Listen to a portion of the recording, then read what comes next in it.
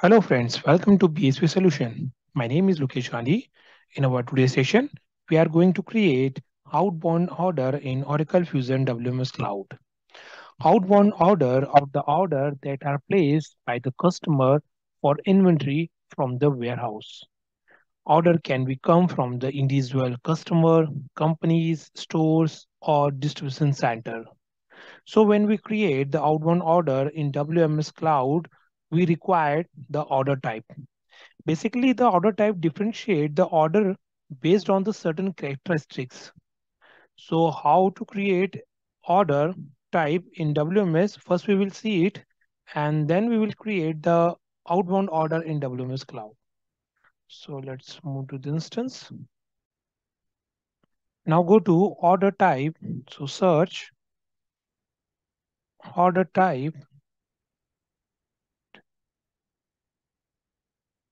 and click on create icon. Right.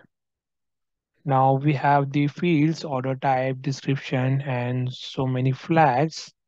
And different flags have the different functionality. And we will go with the uh, mandatory fields. So first we have to define the order type name. So let's define test order type, right? You can define the description, right? And we have the facility order flag, flow through flag, right? So when we select the facility order flag, this it means it used for the order that will be shipped to facility that is pre-configured in Oracle WMS, right? And the same way, when we select the flow through flag, so this flag is used to allow the order to be fulfilled via cross, right? And in the same way, we have the wave flag. And the wave flag is allow you to allocate the order by the waves. And this flag must be checked for the order to be allocated. So click on checkbox, right? And we have the partial allocation and only deallocate on short so the partial allocation flag allows the order to have the partial allocation. And when this flag is not checked, the order can only be fully allocated. Otherwise, the order will not be allocated. Right. And we have the ASN IBO. Click on that. We have the units, packs, and cases. The ASN IB, IBO fields allows you to update the quantity of the order based on what was sent on the ASN. And this field is only for the flow through functionality, right? And this order must also have the other checks such as the uh, partial allocation is set to be true and the flow through flag set to be true, right? We can set the SNPO to either unit, case, and the packs, right? Go with the units, right? And we have the single order multiple load. You can go with the allow, right? And we have some more fields. Let's click on save. So in this way, we can create the order type in WMS, right? Now let's create the outbound order.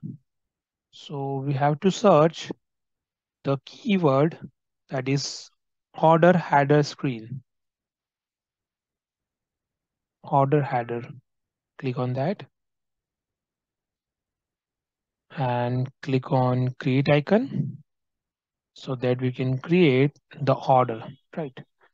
We can mention the order number over here, like we can insert the outbound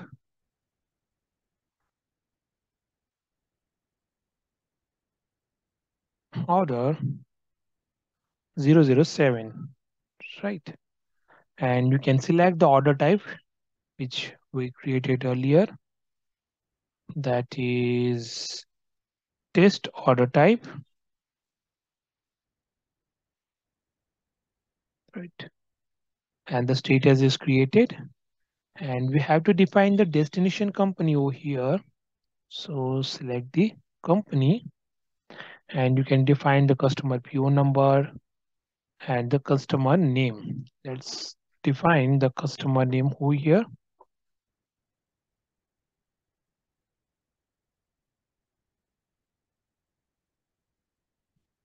And we have to define the address. Right. We have more information regarding the customer you can define and we have to define the request ship date. So requested ship date is 31st of January and you can define the start ship date, shop stop ship date, right? And many more information you can define as per your requirement, right? So click on save. So after creating this order, we must specify the item. The item being order and their respective order quantity. So how can we define the item and the order quantity?